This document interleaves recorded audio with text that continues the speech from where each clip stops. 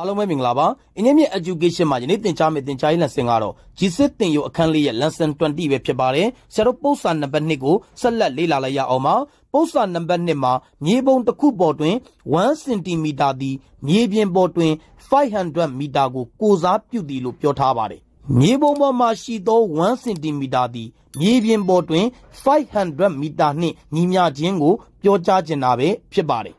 မြေပုံပေါ်တွင် အလျား2.5စင်တီမီတာနှင့်အနံ1.5စင်တီမီတာရှိသောတောင်းမှန်စရုကန်တစ်ခု၏မြေပြင်ပေါ်ရှိ အလျားနှင့်အနံကိုရှာခိုင်းတာပဲဖြစ်ပါတယ်။ပေးထားတာသည်ပြမ်းမြခြင်းကိုပေးထားတာပဲဖြစ်ပါတယ်။မြေပုံပေါ်ရှိ အလျားကိုပြောပါဆိုရင်2.5စင်တီမီတာပဲဖြစ်ပါတယ်။မြေပုံပေါ်ရှိအနံကိုပြောပါဆိုရင်1.5စင်တီမီတာပဲဖြစ်ပါတယ်။ လိုချင်တာသည်တောင်းမှန်စတုကန်တစ်ခု၏မြေပြင်ပေါ်ရှိအလျားကိုလိုချင်တာပါ။မြေပုံပေါ်မှာ1စင်တီမီတာဆိုရင်မြေပြင်ပေါ်တွင်500မီတာနဲ့ညီမျှပါတယ်ထို့ကြောင့်စုစုပေါင်းကိုလိုချင်ပြန်မျှကိုအရေးတွက်နဲ့မြောက်မှာပဲဖြစ်ပါတယ်ထို့ကြောင့်ဒေါင်းမတ်စတူကန်တစ်ခုဤမြေပြင်ပေါ်ရှိအလျားကိုလိုချင်ရင်ပြန်မျှကိုအရေးတွက်နဲ့မြောက်ပေးမှာပဲဖြစ်ပါတယ်2.5နဲ့500မြောက်လို့ရရှိလာသောတန်ဖိုးသည်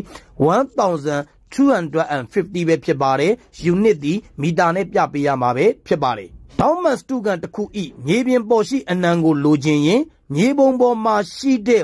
1.5မီတာကိုမြေပြင်ပေါ်မှာရှိနိုင်တဲ့500နဲ့မြှောက်ပေးမယ်ဆိုရင်ဆရာတို့လိုချင်သောတန်ဖိုးကိုရရှိမှာပဲဖြစ်ပါတယ်1.5နဲ့500မြှောက်လို့ရရှိလာသောတန်ဖိုးသည်750ပဲဖြစ်ပါတယ် unit ကိုမီတာနဲ့ပြပေးရမှာပဲဖြစ်ပါတယ်ထို့ကြောင့် မြေပုံပေါ်တွင်အလျား2.5စင်တီမီတာရှိတယ်ဆိုရင်မြေပြင်ပေါ်တွင်ရှိမိအလျားသည်1250မီတာပဲဖြစ်ပါတယ်။မြေပုံပေါ်ရှိအနံသည်1.5စင်တီမီတာရှိမယ်ဆိုရင်မြေပြင်ပေါ်မှာရှိမဲ့အနံသည်950မီတာပဲဖြစ်ပါတယ်။ယနေ့သင်ကြားပေးခဲ့တဲ့သင်ကြားရေးလက်ဆင့်ကိုနားလည်လိမ့်မယ်လို့ထင်ပါတယ်။အားလုံးကိုကျေးဇူးတင်ပါတယ်။ရှင်လန်းချမ်းမြေ့ကြပါစေဗျာ။